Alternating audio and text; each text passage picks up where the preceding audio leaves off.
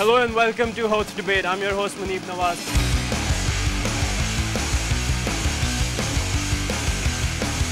Today we are talking about a very interesting topic.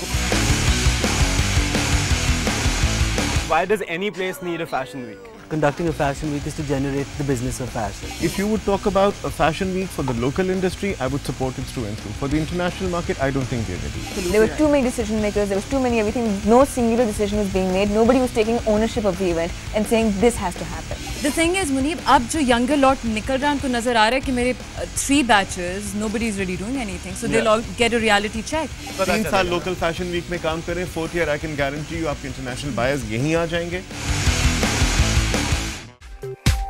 Watch Haute Debate every Tuesday at 9 pm. Only on FTV Pakistan.